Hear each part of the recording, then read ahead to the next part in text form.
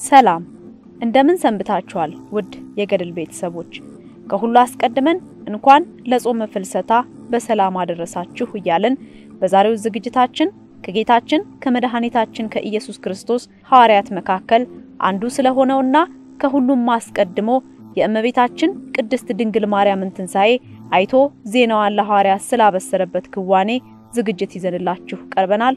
አብሮነታችሁ አይለየን።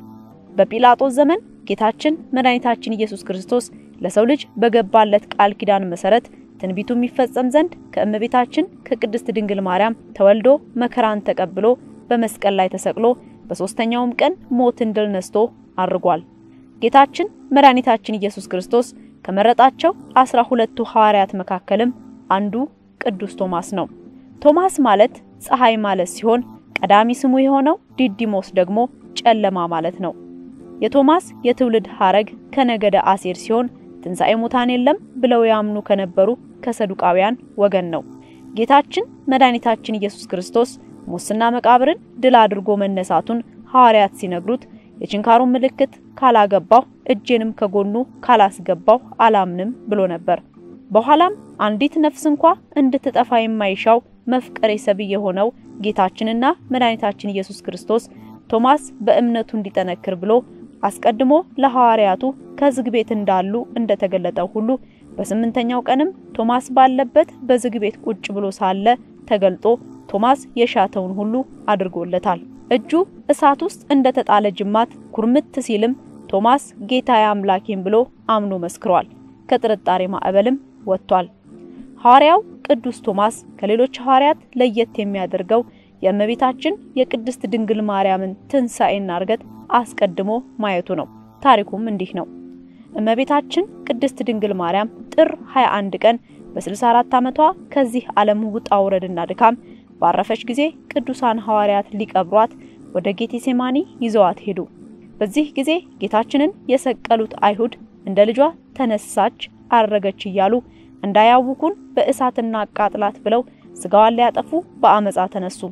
ከእነርሱም መካከል አንዱ ታውፋንያ የሚባል አይሁዳዊ የአልጋዋን አጎበር ይዞ ሊያወርዳት ሲል የእግዚአብሔር መልአክ ሁለት እጆቹን ቀጣው። ከዚህ በኋላ እግዚአብሔር አምላክ ሐዋርያው ቅዱስ ዮሐንስን ጨምሮ እመቤታችንን በደመና ነጥቆ ወደ ገነት ወስዶ ከዕፀ ሕይወት ስር አስቀመጣት። ሐዋርያት እመቤታችን ካረፈችበት ቀን ጀምሮ እስከ ወርሃ ነሐሴ ድረስ ጥያቄያቸውንና ጸሎታቸውን ባያቋርጡም ከሰው ተለይተው ሱባኤ ገብተው ጾም ጸሎት የጀመሩት ግን ከነሐሴ አንድ ጀምረው ነበር። ቅዱሳን ሐዋርያት ሁለት ሱባኤ ወይም አስራ አራት ቀናትን ካደረሱ በኋላም የነገሩትን የማይረሳ የለመኑትን የማይነሳ እግዚአብሔር አምላካችን ጸሎታቸውን ሰምቶ ነሐሴ 14 ቀን የእመቤታችንን ቅዱስ ሥጋ ሰጥቷቸው በክብር ገንዘው በጌቴ ሴማኒ ቀብረውታል። ሁለተኛ ሞት የማያስከትለው ትንሣኤ ዘጉባኤን የማይጠብቀው የቅድስት ድንግል ማርያም ትንሣኤ የክብርና የሕይወት ትንሣኤ ሲሆን በሦስተኛው ቀንም በጌታችን በመድኃኒታችን በኢየሱስ ክርስቶስ ሥልጣን እንደ ልጇ ከሙታን ተለይታ ተነስታለች። እመቤታችን ቅድስት ድንግል ማርያም ነሐሴ 16 ቀን እንደ ልጇ ተነስታ ስታርግ ሐዋርያው ቅዱስ ቶማስ በደመና ፈረስነት ተጭኖ ከሀገረ ስብከቱ ሲመለስ እመቤታችንን ከመንገዱ ያገኛታል። ባገኛትም ጊዜ ከዚህ በፊት ወንድሞቼ ሐዋርያት የልጅሽን ትንሣኤ አይተው ተነስቷል ቢሉኝ አላምንም ብዬ በኋላ በእጄ ዳስሼ አመንኩ። አሁን ደግሞ ሌሎች ሐዋርያት ትንሣኤሽን አይተው እኔ ብቻዬን ልቅርን ብሎ ለመውደቅ ቃጣው። እመቤታችን ቅድስት ድንግል ማርያምም አይዞህ አትዘን፣ ባልንጀሮችህ ሐዋርያት እንኳን ያላዩትን ትንሣኤን አንተ አሁን አይተሃልና ደስ ይበልህ ብላ ከሙታን ተለይታ መነሳቷንና ስታርግ እርሱ እንዳያት ለሐዋርያት ደግሞ ማድረጓን እንዲነግራቸው የያዘችውን ሰበን ሰጥታ ሰደደችው። እመቤታችን ቅድስት ድንግል ማርያምም ወደ ሰማይ አረገች፣ እርሱም ወደ ኢየሩሳሌም ወረደ። ይህ የእመቤታችን የትንሣኤ መልእክተኛዋ ትእዛዟን ተቀብሎ በክብር ከተሰናበታት በኋላ ወደ ሐዋርያት ሄዶ ትንሣኤዋን እንዳልሰማ እንዳላየ መስሎ የእመቤታችን ነገር እንደምን ሆነ ሲል ሐዋርያትን ጠየቃቸው። እነርሱም አግኝተን ቀበርናት ሲሉት አይደረግም፣ ሞት በጥር በነሐሴ መቃብር እንደምን ይሆናል አላቸው። በዚህ ጊዜ ቅዱስ ጴጥሮስ ተቆጥቶ ከዚህ በፊት የክርስቶስን ቁስል ካላየሁ አላምንም ብለሃል። አሁን ደግሞ የእመቤታችንን ነገር ማመን ተሳነህን? ቅዱስ ቶማስም የያዘውን ያውቃልና ጸጥ ብሎ የቅዱስ ጴጥሮስን ተግሳጽ ሲሰማ ቆየ። ቅዱስ ጴጥሮስም ቁጣው ሳይበርድለት የእመቤታችንን ክቡር ስጋ ለቅዱስ ቶማስ ለማሳየት ሄዶ መቃብሯን ቢከፍተው የእመቤታችንን ቅዱስ ስጋ ሊያገኘው አልቻለም። በዚህ ጊዜ ቅዱስ ጴጥሮስ ደንግጦ ቆመ። ቅዱስ ቶማስም ወንድሞቼ ሆይ አታምኑኝም ብዬ ነው እንጂ እመቤታችንስ ከሙታን ተነስታ ተለይታ ስታረግ አግኝቻታለሁ ብሎ እመቤታችን የሰጠችውን ሰበን ለሐዋርያት ሰጥቷቸዋል። ይህ ሰበንም ሊቁ በመልክዓ ማርያም ድርሰቱ ውስጥ እመቤቴ ማርያም ሆይ ዋጋው እጅግ ብዙ በሆነና መዓዛው በሚጣፍጥ ሽቱ በሐዋርያት እጅ ለተገነዘው ንጹሕና ቅዱስ ክቡር ስጋሽ ሰላምታ ይገባል እንዳለው የቅዱሳን ሐዋርያት ሞገሳቸው የሆነችውን እመቤታችንን ለመቅበር የገነዙበት ጨርቅ ነበር። እነርሱም በእመቤታችን በቅድስት ድንግል ማርያም ትንሣኤና እርገት እየተደሰቱ ሰበኑን ለበረከት ተካፍለውታል። በየሀገረ ስብከታቸውም ሕሙማንን ሲፈውሱበትና ገቢረ ተአምራትን ሲያደርጉበት ኖረዋል።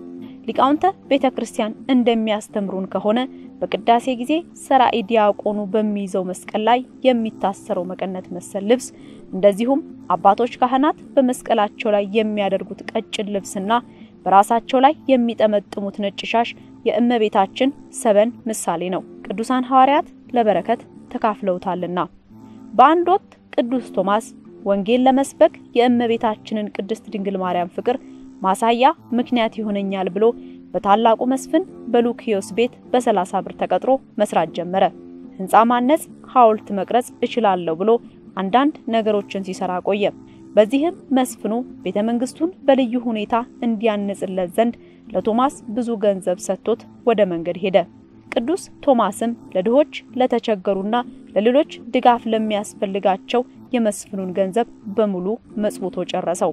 መስፍን ሉኪዮስም ከሄደበት ሲመለስ ይታነጽልኛል ብሎ ያሰበው ሕንፃ ሳይታነጽ መሰረቱም ሳይወጣ ቦታው ምድረ በዳ እንደሆነ ቢቆየው ጊዜ በታላቅ ብስጭት ውስጥ ሆኖ ቅዱስ ቶማስ አስጠራው። መስፍኑም የቤተ መንግስቱ ሕንጻስ ብሎ ቢጠይቀው ጊዜ ቅዱስ ቶማስ ወስዶ ገንዘቡን የመጸወታቸውን ድሆች አሳየው።